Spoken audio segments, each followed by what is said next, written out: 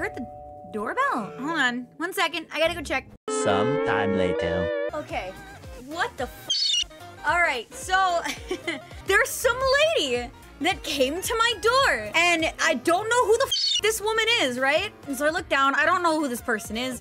I'm not gonna answer my door just for safety, right? Because I don't know who they are. They rang my doorbell four f times, standing. That she would she would ring it, and then she would wait, ring it, and then she would wait.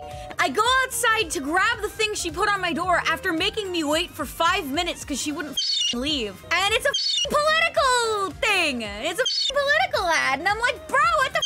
Why are you so pushy? What the hell? I thought somebody was here to do something. Like I, I don't know who the you were.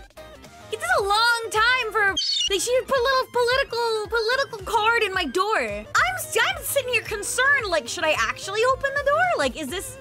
It has the IRS finally decided to get mad at me, even though I'm doing my best to pay them back. So no, it was some political lady, and she she just stood outside my door, just ringing the doorbell. I tell them as a convict recently released from prison and not illegally allowed to vote. It is actually insane. I've got 183 unread messages that are just political texts. It's, I, am getting calls.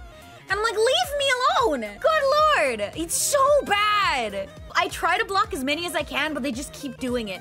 And they just keep doing it. And they just keep, and it's, it's, it's, it's so annoying. I get it, it's an election year. But for sake, my mailbox is full of political postcards. My door gets assaulted with political postcards. I have political texts in my goddamn story. text message. Any chance you're nearing the end? No! F you! It's so annoying! It makes me so mad! I can't stand it! Now I just want to keep talking because your ass asked if I was done with my story yet. So now I just want to keep talking until it pisses you off further. What are you gonna do about it? I could talk all day. I'm a chatterbox when it comes to my stream. What else do you want to talk about? I'll keep blabbering. I, I yap all the time. Yapping is my job. Hold on.